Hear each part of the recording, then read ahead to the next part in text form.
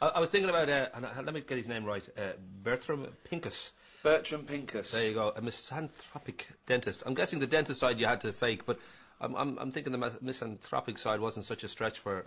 Loved it immediately. On the page, I thought, right, this is my role, right? Not just my role, but uh, I am like this person. Or rather, I wish I were like him. I wish I had the nerve to say exactly what's on my mind. He goes round telling people exactly what he thinks of them. He wants to be left alone. He's this uh, curmudgeonly sort of loner. As you say, he's very misanthropic. He doesn't like people. He hates dead people. So, you know, uh, his life is turned upside down when um, he can suddenly see these spooks. Um, but, um, I, I, you know, sort of like all those characters that are a bit wounded, and I played in, with David Brent and Andy Millman, they're not bad people. They're, um, they're confused. They're misled, really. And uh, it, it's, um, I like the, the redemption in the film. It's one of my favourite themes. Again, we did it in The Office, did it in Extras.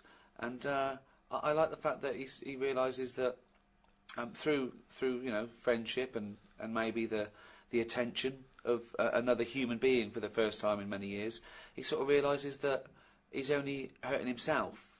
He's only sort of missing out on, on the best aspect of life. It's not always the best policy to be brutally honest and right.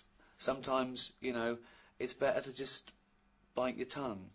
So, uh, Well, I was going to say, given the uh, profile you have, obviously here, but then in the States, you're, you're adored for, for, for obviously the office and extras, and, and, and there's a real sense that you are a golden boy, and, and that uh, other side of that, though, you've got to deliver something ultimately. You've got to sort of deliver on all that sort of great praise and all that promise. I'm wondering, this being your first lead role in a big American movie, whether you, you would allow yourself to be quite nervous before something like this, or whether you'd feel, well, this no, script is works I'm, and I I'm know not it'll be nervous right. because if I'm happy with the product, I don't, I don't sort of care what happens. You know, I'm, I'm not doing this to be a film star. I'm not doing this to further my career.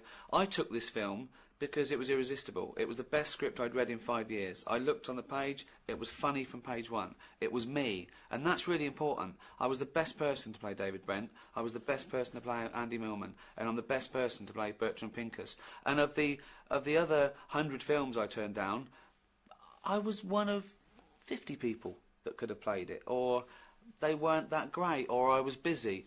Um, but you make way for some things. Do you want to write and star in The Simpsons? Yes.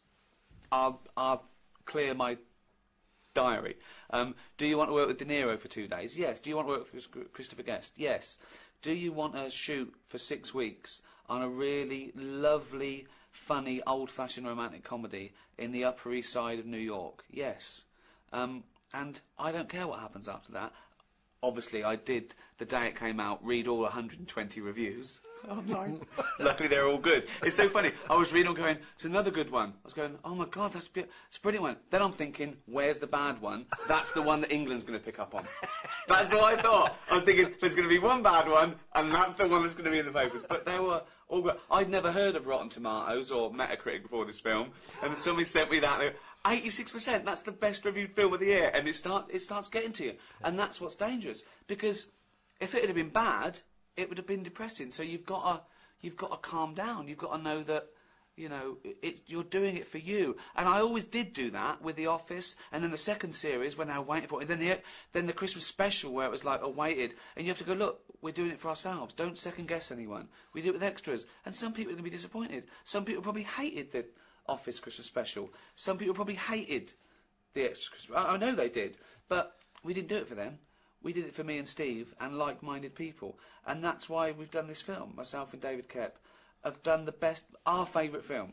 We've made our favourite film of the year, and uh, my, myself and Stephen made our favourite sitcom. You know. Well, given that you, are somebody who um, plainly cares deeply about what you make and how you make it, and, and if it's good enough, and, and as you say, you, know, you don't want to go on to BBC One, you don't want to chase a big audience, you want to make sure you've got what you want Well, I to don't, make. I don't want to chase a big Right, audience. that's what I'm saying, don't the- that's go why after I don't mind Right. getting a big audience, you know. Yeah. Um, uh, but it, they, they wanted us to go on BBC One with the second series of The Office. Yeah. Now it went to BBC Two. It got five million.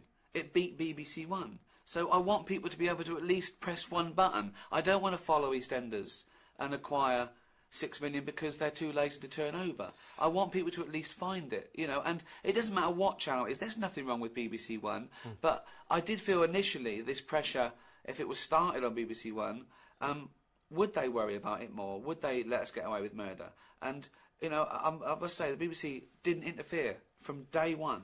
The, the producers weren't in the edit. You know, they let us do what we wanted, and I think I proved a point there. Um, and uh, I just want to be left alone. I just want to do my and until no one's watching, until everyone hates it, and then uh, I still won't give up. I'll just do it for me. I'm going to be dragged out. it's about eight other questions, but a very quick one. You just, you just discovered that Louis Walsh is an arsehole. That took you a long time to... I didn't How, how say. did, how did I- it take you that long to realise that? I didn't say he What was an arsehole. I merely said, uh, how would you feel if Louis Walsh made you look like a right cunt in front of 10 million people? That's better. That's yeah, better. That's more. All he said to a, he said to a, a guy who's totally okay looking, as an insult, you look like Ricky Gervais. he meant it as an insult. Think of that. Louis. Walsh had a go at my lip. He's a handsome man, you see. How do you make think like, that. this is worse than when Dawn French called me fat? I love you, Louis. he gets enough stick off Simon.